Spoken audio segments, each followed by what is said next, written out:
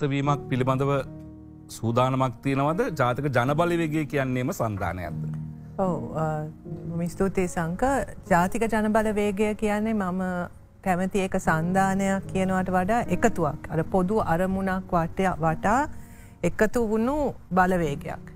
එතන්දී අපි අපි අපි එකතු කරනවා තම අපි ජනතාවත් එකතු කරගන්නවා මේ පොදු අරමුණත් එක්ක යන්න පුළුවන් සංවිධාන දේශපාන ව්‍යාපාරයකත් අපි වැඩ කරනවා එකතුවක් තියෙනවා. තවට එක තනි පක්ෂයක් තනි සංවිධානයක් නෙවෙයි එකතුවක්. මෙතන වෙනස මම දකින විදියට අපි සන්ධාන ගැන කතා කරනකොට කතා කරන්නේ සාමානයෙන් අර ප්‍රධාන දේශපාලන පක්ෂ අතර තියෙන සන්ධාන ගැන. අපි මේ සන්ධානය ගැන කතා කරන්නේ පොදු අරමුණ වටා ජනතාව එකතු කරගන්නේ කොහොමද කියනට ජනතා අපි දැන් බිම්මට්ටමේදී වනත් කතා කරනකොට එතන ඉන්නවා විවිධ පක්ෂ නියෝජනය කරන අය. ඒ විවිධ පක්ෂවල නියෝජනය කරන අය හැබැයි මේ වෙලාවේ අපේ වැඩ සටහන හා වැඩ අපේ ව්‍යාපාරය තුළ අපේ අරමුණ එක්ක එකතු වෙලා තියෙනවා. ඒ එක එතකොට එකතු කිරීමක් සන්ධානයක් එක අතකින් හැබැයි මෙතන සාධකය වෙනතන පක්ෂවල එකතුවක් නෙවේ. පුද්ගලයන් එකතු වෙලා තියෙන්. පුද්ගලයන් බිම්මට්ටමෙන් එකතු වෙලා තියෙන්නේ. අපි දකිනවා ඒක ඉතාමත්ම වැදගත් දෙයක් කියලා මේ වෙලාවේ මේ මොහොතේ තියෙන මේ රටේ තියෙන අර්බූදයක් එක්ක රටට අවශ්‍ය වන ඒ පරිවර්තනයක් පරිවර්තනයක් එක්ක අර සම්ප්‍රදායකව අපි මෙච්චර කාලයක් ඉතිහාසය කරපු විදිහටම දෙවල් කරන්න බෑ. මතන ඒක අපි හරියට තේරුම් අරගෙන ඉන්න ඕනේ මේ රටට රට අලුත් දිසාවකට ගෙනියන්න නම් අලුත් වැඩ පිළිවෙලක් වගේම අලුත් විදියට අපි දේශපාලනය කරන්නත් ඕනේ. තොට ඉතිහාසය පුරාම සිද්ධ වෙලා තියෙන්නේ සන්ධාන එකතු වෙලා තියෙන්නේ ඒ රට ගැන හිතලා මොකක් හරි පොදු අරමුණකට වඩා බලය පිහිටවා ගැනීම සඳහා කරන තකොට ඩීල් හරහා එන සන්ධාන. තොට ඔය දීල්වල ඩීල් කැඩෙන්න්න යන කැඩෙනකට තම සන්ධානත් කැඩෙන්නේ. තොට ඒ නිසා තම අපි දිගින් දිගටම කියලා තියෙන්නේ මේ අවස්ථාවේ අපි ප්‍රධාන පක්ෂ එක්ක සන්ධානගත වීමකට කිසිම බලාපොරොත්තුවක් මේ වෙලාවේ නෑ. ඔබ ඩීල් කියල කියන්නේ ජයග්‍රහණය නික්බිතිව අමාත්‍ය දුර බෙදා ගැනීම වගේ දේවල් පිළ අමාත්‍ය දූර බෙදා ගැනීම වෙන්න පුළුවන් නොමිනේෂන් වෙන්න පුළුවන් පක්ෂයකට එන්න එන්න ඕන ආසන ප්‍රමාණය ජාතික ලයිස්තුවේ වෙන් කරගන්න ප්‍රමාණය. එතකොට ඒ අරමුණම අරමුණ වෙනස්. තොට අර පොදු වැඩ පිළිවලක් හෝ අරමුණක් දේශපාලන අරමුණක් එක්ක නෙවේ. හරි එතන තමා ඒක හින්දාම තමයි අපේ සන්ධාන ඔච්චර අස්ථාවර වෙන්නේ. කො ඒ බල හුවමාරුව ඕන පැත්තකට යන්න පුළමක අරමුණක් ප්‍රතිපත්තියක් එක්ක නෙවෙයි එකතු වෙන්නේ. එතකොට තම අපි දකින්න එහාට මෙහාට පනිනේවා ඔක්කොම සිද්ධ වෙන්නේ ඒ ප්‍රතිපත්තියක් එක්ක නෙවෙයි එකතු වීමක් සිද්ධ වෙනඉතින් අපි මේ පාර උත්සාහ කරන්නේ ප්‍රතිපත්ති වටා එකතු කරන්න පුළුවන් සියලු දෙනාම එකතු කරගන්න. එතන්දී අපි පුද්ගලයන් මෙරටේ පුරවැසියන් තම අපේ ප්‍රධානම ඉලක්කය වෙලා තියෙන පුරවැසියන් කෝමද අපි මේ වැඩ පිළිවලට එකතු කරගන්න මේ ප්‍රතිපත්තියක් වෙනුවෙන් කොහොමද අපි සියලු දෙනා එකතු වෙලා මේ රට හදන වැඩේට දායක වෙන්න කියන එක. අනිත් එක අපි හිතන ප්‍රධාන දෙයක් තමයි සංක මේක සුවිශේෂී තත්ත්වයක් තුළ තම අපි මේ මැතිවරණවලට මුහුණ දෙන්නේ මේ රට සෑහෙන බරපතල දේවල්වලට මුහුණ දීල ආර්ථික කඩා වැටීමක් පුරවැසි නැගට නැගිටීමක් මේ සියල්ලත් එක්කම තමා මේ මොහොත මේ වෙලාවෙ නිර්මාණය වෙලා තියෙන. එතකොට ජනතාව ඉල්ලන්නෙත් බලාපොරොත්තු වෙන්නෙත් ටිකක් වෙනස් විදිිය දෙයක්. තකොට ඒ ඒ වෙනසත් එක්ක තමයි අපි හිතන ඔබ දන්නවා පුරවැසි නැගිටීමේ තිබ්බ එක සටන් පාටයක් දෙසිය විසි පහම එපා කියලා. එක හැනේ මෙතරීන අපි තුන් දෙෙන හතර දෙනගෙන් තුන් දෙනෙක් ඒකට එකට අයිති. එහෙම නං අපි හිතනවා මේ පාලිමේන්තුව අලුත් වෙන්න ඕනි කියලා. මේ පාලිමේන්තු මේ කියන මේ රටේ පාලනය කිරීමට නව ජන වරමක් අපි සියලු දෙනාටම අවශ්‍යයි. අලුත් පාර්ලිමේන්තුවක් අලුත් පාලිමේන්තුවක් අවශ්‍යයි අපි සියලු දෙනාටම අලුත් වරමක් අවශ්‍යයි. හරි? තොට පක්ෂකට විතරක් නෙවේ ජනාධිපතිරට විතරක් නෙවේ. අපි සියලු දෙනාටමත් අලුත් වරමක් අවශ්‍යයි. එතකොට ඒ අලුත් වරමත් එක්ක එන පාලිමේන්තුවක් තුළ තමයි අපිට රටේ ඊළඟ පාලනය කොහොමද විය යුත්තේ කියන ඒ සංවාදය වනත් ගන්න පුළුවන් වෙන්නේ ඒ නිසා තමයි අපි තීරණයක් අරගෙන තියෙන්නේ මැතිවරණට කලින් අපි සන්ධානයක් සන්ධාන ගත වෙන්න සාකච්ඡාවක් එම පක්ෂයක කතා කරන්න. හරි පාලිමේන්තුවේ අද ඉන්න දෙසිය විසි පහ අපි තුද්දර ඇරෙන්න්න අපි කියමු දෙසිය විසි දෙක එක්ක අපිට හෙම සන්ධාන කතා අපි මේ වෙලාවෙ ගන්න නෑ. මොක අපි හිතන අපි දෙසිය විසි පහම ඒ වරම අරගෙන තමයි ඊල් ඒ ජනතාව මොකක්ද අපිට දෙන වරම? ආණ්ඩුවක් පිහිටවන්නද විපක්ෂය ඉන්නද? ඒ අනුව තමයි අපිට ඊළඟ පියවර ගන්න වෙන්න. ඒක තමයි අන්ද්‍ර සහෝදරයා කැනඩාවෙත් කිව්වේ. අපිට මහමැතිවරණයකදී ලැබෙන වරම අනුව තමයි අපි ඒ තීරණය ගන්න කිය. අපිට ඉංගියක් ආවොත් ජනතාව කියන්නේ අපිට ආණ්ඩුව පිහිටව ගන්න කියලා අපිතමු අපිට එකසිය දහතුන ගන්න යම් කිසි ප්‍රමාණයක් මදි වෙනවා කියලා එතකොට අපි ලෑස්ති ඒ පාලිමේන්තුවේ ඉන්න අර අපේ අරමුණු ප්‍රතිපත්ති එක්ක යන්න පුළුවන් කණ්ඩායම පුද්ගලයන් එක්ක සාකච්ඡාවකට ඇවිලා ආණ්ඩුවක් පිහිටවන්න අපි ලෑසිමක එතකොට ජනතාව අපිට පැහදිලිව කියලතින අපි බලාපොරොත්ව නොබට ආණ්ඩුවක් පිහිටවන්න කියල. ඇව අපිට හිතමු දහයක් විස්සක් තිහක් පණහක් ඇටක්කාවත්. එතකොට එතකොට පැහැදිලි ජනතාව අපෙන් බලාපොරොත්තු වෙන්නේ විපක්ෂේ වැඩේ කියන්න. හරි එහෙම එතකොට එතකොට අපි ඕන දෙයක් කල්ලා ආණ්ඩුවක් පිහිටවන්න ඕන කියන තැන නෙවෙයි අපි ඉන්න. ජනතා වරමානුව තමයි අපි වැඩ කරන්න සුද සහ අපි ජනතාවගෙන් ඉල්ලා සිටින්නේ මේ මොහොතේ අපිට ආණ්ඩුවක් පිහිටවන්න බලය දෙන්න. ඒ වරම ලැබුණොත් අපි ආණ්ඩුව භාරගන්න සූදාන මේ ඒක ලැබෙන්න අපිට ඒ සිගනල් එක අපිට ජනතාව දුන්නොත් ඒ අනුව අපි වැඩ කරන ඒ වෙනුවෙන් තමයි අපි වැඩ කරන්න. ඔබතුමකින් කෙටි පිළිතුරක් බලාපොරොත්තුන දැන් ජාතික ජනබලවයගේ ප්‍රධාන කොටස ජනතා විමුක්ති පෙරමුණ කිවොත් ඔබ පිළිගන්නවාද. ප්‍රධාන විශාලම පක්ෂය ජනතා විමුක්ති පෙරමුණ ඊට අමතරව කවුදන්නේ. ඊට අමතරව ඉන්නවා ජාතික විද්වත් සංවිධානය කමියනිස් පක්ෂයෙන් කැඩිච්ච කොටසක් ලංකා සම සමාජ පක්ෂයෙන් කැඩිච්ච කොටසක් ඒවාගේම සිවිල් සංවිධාන කීපයක් තියෙනවා. ඔබතුම කොමිනිස්ට පක්ෂය එතනට එන්න තමයි කොමිනිස්ට පක්ෂේ සම සමාජ පක්ෂය කියන නම් දෙක කිව්ව හින්දා සාම්ප්‍රදායක වම සමග සංවාධයකට එලබෙන්න සූදානම් නැද්ද? සන්ධාන ගතවීමක් පිළිබඳව. ඒක තමයි මම කියන්නේ. ඒ කව් කවුරු එක්ක වුණත් අපි මේ මොහොත්තේ ඒ දැන් එල්SP එක කොමියනිස් පක්ෂ කියල පක්ෂ දෙකක් තියෙනවනි. ඒ දෙක එක අපි නිල වශයෙන් සාකච්ඡාවක් කල්ලා නෑ.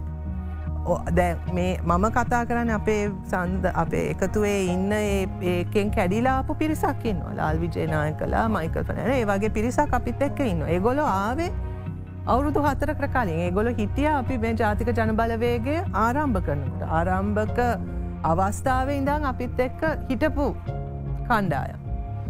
මෙහෙමයි මම එකඟ වෙනවා මෙතන සියලු දෙනාම කියන එක හරි අපිට ප්‍රතිපත්ති අවශ්‍යයි. ප්‍රතිපත්ති අතර වෙනස්කං තියෙන් ඕනේ මහිතන දේශපාලන සංවාදයක් තුළ අපි සියලු දෙනාම එකම ප්‍රතිපත්තිය ගැනනම් කතා කරන එක තේරුමකුත් නෑන ඒක කමක් නෑ. නමුත් අද අපේ රටේ තියෙන ප්‍රධාන ප්‍රශ්නය ප්‍රතිපත්ති නැති එකට එහා ගිය ප්‍රශ්නයක් තිය. අපිට තියෙනවා ප්‍රතිපත්ති ක්‍රියාත්මක කර ගැනීමට බැරි දේශපාලන ප්‍රශ්නය. මම විශ්වවිද්‍යාල ආචාරවරයක් හැටියට මමම එකතු වෙලා තියෙනවා මම අවුරුදු දොළහක් විතර විශ්වවිද්‍යාලය උගන්නපු කාලය තුළ ප්‍රතිපත්ති සම්පාදන ක්‍රියාවලීන් වලට මම සම්බන්ධ වෙලා තියෙනවා විධ ආණ්ඩු යටතේ. මොක එතකොට අපිට පක්ෂපාට බේදයක් නැතුව අපිට සම්බන්ධ වෙලා තිය තියෙන්න්න වෙනවා මම තරුණ ප්‍රතිපත්තියකට සම්බන්ධ වෙලා තියෙනවා මෙතුමාන්ඩගේම යහපාලන ආණ්ඩුවේ අලුත් ව්‍යවස්ථා සම්පාදන ක්‍රියාවලියත් මම සම්බන්ධ වෙච්ච කෙනෙ. ඊට වගේ විවිධ විවිධ ප්‍රප්තිපත්ති සම්පාදන කමිටුවල මම ඉඳලා තියෙන ඒවස් හදලා තියෙන. නමුත් ඒ එකක්වත් ක්‍රියාත්මක වෙලාන්න. මෙතනයි අපිට ප්‍රශ්නය ඔබ ජාතික අධ්‍යාපන කොමිසමට ගියොත් පොත් ගණන් මෙහෙම තියෙහි හදපු ප්‍රතිපත්ති. දැ මෙතුමා පෙන්නුවදේ දෙදස් මේ මේ දැන් අලුතෙන් අධ්‍යාපන ප්‍රතිපත්තියක් ගැන මේ මාස කීපයකට ඉස්සල්ලා තවත් එකක් ඉදිරිපත් වුණ. පාලිමේන්තුවේ සෙක්ටෝර ලෝව සයිට් කමිටිය එකක් පත් වනා ඒත් අධ්‍යාපන ප්‍රතිපත්ති හදන ඒකට ඒකටත් මම සම්බන්ධ වෙලා තිය. දැ ඒ කියන මේ මොහොතෙම ප්‍රතිපත්ති තුනක් තියෙන. හරි එතකොට ක්‍රියාත්මක වෙන එකන ප්‍රශ්නය ඒකයි මම ඒකත් ඒ නිසා සංක මම හිතන අද විශාල අර්බූධයක් තියෙන අපේ දේශපාලනය. ඒ දේශපාලන ක්‍රියාවලිය තුළ ප්‍රතිපත්ති අනුව නෙවෙයි අපි තීන්දු තීරණ ගන්න. ප්‍රතිපත්ති අනුව නෙවේ අපේ ප්‍රතිපත්ති ක්‍රියාවලියම විකෘති වෙලා තියෙන ප්‍රධාන හේතුවක් දූෂණය.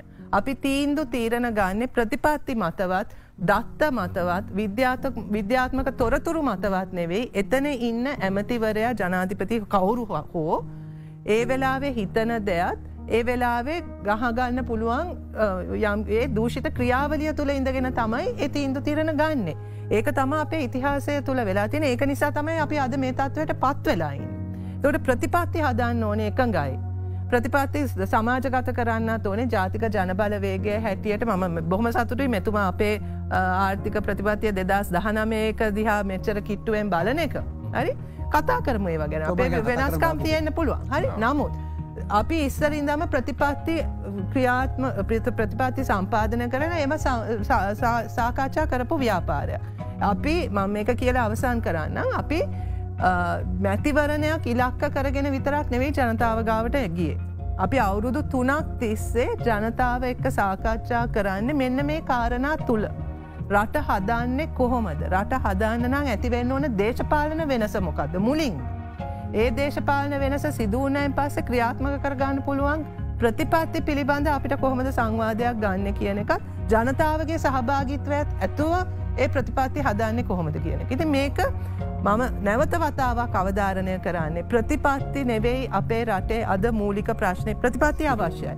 ඒ දේශපාලන වෙනස සිද්ධ වූ නැත්තං. ලෝකේ තියෙන හොඳම ප්‍රතිපත්තිය ගෙනාවත් අපිට ක්‍රියාත්මක කරගන්න බෑ. මේ තියෙන දේශපාලන සංස්කෘතියතු සංකමට විනාඩයක් දෙන්න. තුරු කොරියාව පාවිච්චි කරන මංඒකට උත්තර දෙන්න. මට කනගාටුව අජිත් පරේර මන් හිටපු මන්ත්‍රතුම මහිතන කමිනිස් වාදය ගැනව දන්න නැතුව වෙන්න ඇති මේ කතා කරන්නේ. සංගෘතාර්ථිකයක් සහ විවෘතාර්ථිකයක් අතර වෙනසත් හරියට පැහැදිලි කරගන්න නැතුවෙක්. අපි බලශක්ති ශේෂත්‍රය ගැන කතා කරලා තියෙනවා. අපි කියලා තියෙන්නේ අපි කොහෙවත් කියලා නෑ සියල්ලම රට ඇතුළේ සියලු දේම සිද්ධ විය යුතුයි කියලා. අපි කියලා තියෙන එක ශේත්‍රයත් ශේත්‍රයක් අනුව වෙනස් විය හැකි.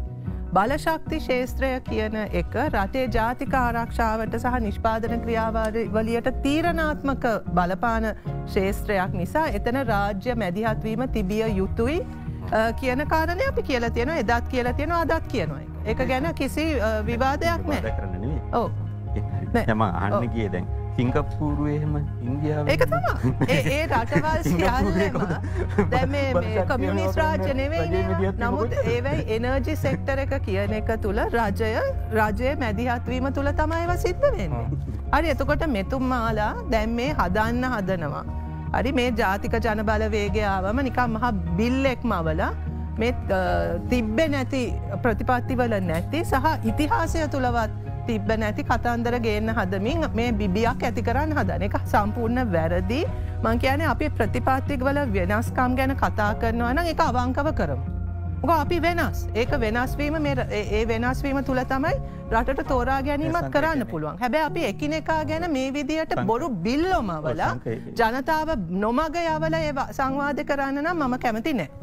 ඇත්තට අපි පොඩකින් අපි එතන වෙනස් වෙන තැන්ගෙන අපි කතා කරම. අපි කියලා තියෙනවා නිෂ්පාදන ආර්ථිකයක් විත යා යුතුයි.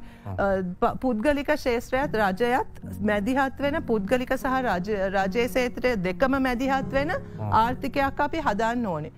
ව්‍යාපාරික ප්‍රජාවටත් ඔවුන්ට වැඩ කළ හැකි වාතාවරණයක් හදන්න අපි සම්බන්ධ වෙනවා සහ ජාත්‍යන්තර එක්ක ගණු දෙනු කරනකොට අපිට අපේ නිෂ්පාදන ආර්ථික ක්‍රියාවලියට සම්බන්ධ වෙන පුළුවන් විදියට ඒ විදේශ ආයෝජන ගන්න ක්‍රියාවලිය ගැන අපි කතා කරලා තියෙනවා. ති ඒක තුළ කොහොමද මෙතුමා කියන්නේ එක සංගෘතාර්ථිකයක් කියන එක මම දන්න. ඒක කොහොමද? සෝවියට් රුසියාවට හෝ උතුරු කොරියාවට සමාන කරන්න කියනකත් මම දන්න. මෙතුම එක්කො මේ හරියට කියවල එම නැතා ඒ හරියට දන්න රාජ්‍ය මැදිහත්වීම කියන එක ආරක්ෂාක මෙහෙමයි සංග මම හිතන් තුන් දෙනාම කතා කර. අනිවාර්ය අනිවාර්ය පස්සේ මට දැන් ඊට- නෑ, මි- ම්- මෙතන තියෙන තියෙන්නේ සංක අපිට මූලධර්ම මූලධර්මික මං ඒ පැහැදිලි කරොත් අපේ මුලධර්මය මෙච්චරයි. මේක උ- විවෘත්තද සංගෘතද කියන එක නෙවෙයි මෙතන කතාව. එක් එක් ශේස්ත්‍රය තුළ මොකක්ද සිද්ධ විය යුත්තේ එක අපේ පොදු අ, අ, ආර්ථික සැලැස්ම තුළ එතන ස්ථානගත වෙන විදියි ඒක තියෙන අ, ඒකට දෙන ප්‍රමුඛතාවය ඒක තුළ රජයේ මැදිහත්වීම කොහොමද පුද්ගලික ශේත්‍රයේ මැදිහත්වීම කොහොමද තියෙන්නේ මොකක්ද එතන ඒක තියෙන බැලන්ස එක කියන එක පිළිබඳ තම අපි කත අපි කොහෙවත් සංගෘත විවෘත්ත කතාවකට ගිහිල්ලන්නේ. එතන්දී බලශක්තිය පිළිබඳව අපි හිතනවා ඒක බලශක්තිය කියන එක රටට ඉතාමත්ම තීරණාත්මක ශේත්‍රයක් නිතා එතන රාජ- රජයේ බලපෑම රජයේ මැදිහත්වීම තිබිය යුතුයි. එතනින් කොතනකවත් අදහස් වෙන්නේ ඒ නිසා පුද්ගලික ශේස්ත්‍රයට කිසිම එතන වැඩ කිසිම කාර්යභාරයක් නෑ කියන එක එතන කොහෙවත් අපි අදහස් කරන්න ඒක ඒකට හිතම සෑහන පිළිතුරක් කම්බුණය කියල. දර ඉදිරිමාන මන්ත්‍රීතුමා මතු කරප එක. සමහර දේවල් ප්‍රායුග නොවන දෙවල. අර වෙන්න පුළුවන්. නිෂ්පාදනය. මන් දැක්කයි ඒ ප්‍ර- ඒ ප්‍රකාශ දෙකම දැක්කා. ඒ-. ඒ වගේ ප්‍රායුග නොවන සමහර වෙලාවට ස්ටේජ්යක කියවන එකක් තුළ එතන අප්‍ර- එතන ප්‍රායෝගික නැතිවෙච්ච කතාවක් තියෙන පුළුව හැබැයි මෙහෙමයි. අපි කියන්න හැ සියලුමදේ අපේ අවශ්‍යතාවයන් සියල්ලම මේ රටේ නිෂ්පාදනය කළ හැකි හෝ කළ යුතු කියලවත් අපි කියලන්නේ. හැබැයි නිෂ්පාදන ආර්ථිකයක් අපිට අවශ්‍යයි. එකන මේ රටේ ආර්ථිකය ගොඩදාන්න නං ආර්ථිකය ශක්තිමත් කරන්න නම් බාණ්ඩ හා සේවාවන් වල නිෂ්පාදනයක් මේ රට තුළ සිද්ධ විය මේ රටේ ආර්ථිකය තුළ ස- සිද්ධ විය යුතුයි. ඒකට එතන ඒ- සප්ලයි චේන් එක කොතන කොයි තැනටද අපි අ, සම්බන්ධ වෙන්න කියන එක අපි අපේ තියෙන සම්පත් අපේ තියෙන අවශ්‍යතානුව තමයි අපිට තීරණය කරන්න හැබැයි හැම මේ සියලු දෙම මෙතන නිෂ්පාදනය කළ අපි නිකන් ස්වයම් පෝෂිත දේශීයව අපිට ස්වයම් පෝෂිත වෙන්න පුළුවන් කියන එක අපි හිතන්නේ. ඒක හිතනවන ඒක කිසිසේත්ම එක ප්‍රායෝගික දෙයක් නේ හැබැමට තව එක දෙයක් කියන්න ඕනෙ මෙතන. අජිත් මන්ත්‍රතුමා කියපු එක මේ සංගෘත විවුත්ත එකට විතරක් නෙවෙයි සංක. මේක අපි මූල තියන තත්ත්වයන් තුළත් අපිට වෙනස් වෙනස් වෙන්න පුළුවන් අපි ගන්න උපාය මාර්ග. හැබැ අපේ මූල ධර්මය එකයි. මේ රටේ රටේ ජාතිකාරක්ෂාව කියන එකත් ර- රටේ යම් කිසි අපිට ආර්ථික සැලැස්මක් තියෙන තියෙන එකත් ඒ සැලැස්මට අනුගත වෙලා තමයි අපි උපායමාර්ග අපි තෝරගන්නේ. ඒ තියෙන තත්වයන් අනු. අද ඕ- අද ඕ කියනවනේද මේ කම්පිටිෂන් හරහා දේවල් පාද ඒකට හොඳම උදාහරණය අද. අපි සියල්ලට සියල්ලම වියුත්ත කරා කියලා බ- මිල මිලපාලනයක් එහෙමම සිද්ධ වෙන්න මිලපාලනයක් සිද්ධ වෙන්න කම්පිටිෂන්ම විතරක් තරඟකාරිත්වය විතරකින් ඒක පාලනය වෙන්න. රජයේ නියාමනයක් අවශ්‍යයි. නියාමනයක් අවශ්‍යයි. මොනෝපලියක කඩන්න මැදිහත්වීමක් අවශ්‍යයි. මේ සියල්ලම සිද්ධ වෙනුන එක කාරණයකින් එක සාධකයකින් සිද්ධ වෙන්න හොඳයි. ටෙලිකා මට මේක විතරක්ම තප්පරකින් කියන ටෙලිකොම් එක උදාහරණයක් ඇටියට හැමතිස්සම ගන්න එක උදාහරණයක් තමයි නමුත් ඒ ටෙලිකොම් එක මෙහෙම සාර්ථක වෙන්න එකම හේතුව එක පුද්ගලිකරණය කිරීම පමණක් නෙවේ. මේ ඇතිවෙච්ච තාක්ෂණික දියුණුවත් ඒකට බලපෑව. පුද්වලී කලන පුද්ගලි කරනය නරකයි කියලා කියනවා එක නෙවේ. නමුත් ඒක විතරක් අරගෙන නෙවේ මොක පුද්ගලි කරණය කරපු තව ශේත්‍ර තියෙනවා ඉතාමත්ම අසාර්ථක උදාහරන්නත් අපිට ගන්න පුළුවන්. සංග මම හිතන්නේ මෙතන මම නැවත වතාවක් මං ආරම්භ කරපු තැනටම යන්න කැමති මෙතන දේශපාලන දේශපාලන ප්‍රශ්නයක් තියෙනවා දේශපාලන සංස්කෘතිය අපි විසඳිය යුතු ප්‍රශ්නයක් තියෙනවා ප්‍රතිපත්ති හදන්න පුළුවන් ප්‍රතිපත්ති ක්‍රියාත්මක කිරීමේදී ඒක ඒක තියෙන අ, අපේ අරමුණ තුළ තියෙන අවංක භාවය මහිතන මෙතන ඉතාමත්ම වැදගත් වෙනවා සහ අපි අද ඉන්න තැන හරියට තේරුම් ගන්න ඕනේ. අද ජනතාව අපෙන් ඉල්ලන්නේ අර සුපුරුදු පරිදි කරපු දේශපාලනය නෙවෙයි. ඔවුන්ගේ සහභාගිත්වය ඇතුල්- ඇතුළුව කරන දේශපාලනයක්. ඒ කියන්නේ ඔවුන්ටත් මේ ක්‍රියාවලියට සහභාගී වෙන්න වෙන්න අවශ්‍ය අවශ්‍යතාවය ඔවුන් පෙන්නුම් කළ තියෙන සහ හැකියාව පෙන්නම් කළ තියෙනවා. තොට ජනතාවගේ විශ්වාසය දිනාගන්න පුළුවන් විදියට අපි දේශපාලනය කරන්න පුළු ක- කරන්නත් ඕනේ අපි තේරුම් ගන්නත් ඕනේ ජනතාව අර තව තවත් අපිට රවට්ටගෙන ල- කතාවලින් රවට්ටගෙන හෝ පොරොන්දු වලින් රවට්ටගෙන කරන්න පුළුවන් දේශපාලනයක් අද නෑ. ඒ නිසා මේක අනිවාර්යයෙන්ම සන්ධානය තිබිපි තිබිය යුත්තේ අපි දකින විදිත් විදියට ජනතාව එක්ක. ඒ සන්ධානය හදන්න නම් පළමුුවෙන්ම සිද්ධ විය යුත්තේ ජනතාවත් ඒ දේශපාලන ව්‍යාපාරයක් අතර තියෙන සම්බන්ධතාවේ අවංක බව. එක තිය ඇති වෙලා තියෙන විශ්වාසය. මොන සම්මුතියක් කරහාද අපි මේ රට පාලනය කරන්න යන්න කියන එක ගැන යම්කිසි සමාජ සම්මුතියක් අපිට අවශ්‍යය. ජාතික ජනබලවේගේ හැටියට අපි උත්සාහ කරන්නේ ඒ අලුත් සමාජ සම්මුතිය නිර්මාණය කරන්න. ජනතාව සමඟ ඒ සම්මුතිය සම්මුතිය හදාගන්නත් ජනතාවගෙන් අපි ඉල්ලන්නේ අන්න ඒ සම්මුතියත් එක්ක අපි ඉදිරියට යන් මේ රට වෙනස් කරන්න ඕනේ මේ රට නව දිසාවකට අපි ගන්න ඕනේ ඒ සඳහා අපි ඉතිහාසයෙන් ඉගෙන ගමු. ඉතිහාසය කරපු වැරදි නිවැරදි කරගමු. ඒ වගේම අර මේ තියන තත්ත්වයන් තුළ තියෙන තත්ත්වයන් තුළ කොයි විදිහටද අපි ඉදිරියට යන්න ඕන කියන එක ගැන අපිට සංවාධයක් තියෙනවා. හැබැයි ප්‍රතිපත්ති කියනකොට සංක ඒ ප්‍රතිපත්ති වල අපිට යම් කිසි තියෙන් ඕනේ නිකම් බලය ලබා ගැනීම සඳහාම යන ගමනකට එහාගිය යම්කිසි මූලධාර්මික එකගතාවයකුත් තියෙන්නුවන්. මූල ධර්ම අතර අපේ අතර වෙනස්කං තියෙන්න්න පුළුවන් එක අවශ්‍යය ම දකින විදියට ප්‍රජාතන්ත්‍රවාදී රටක.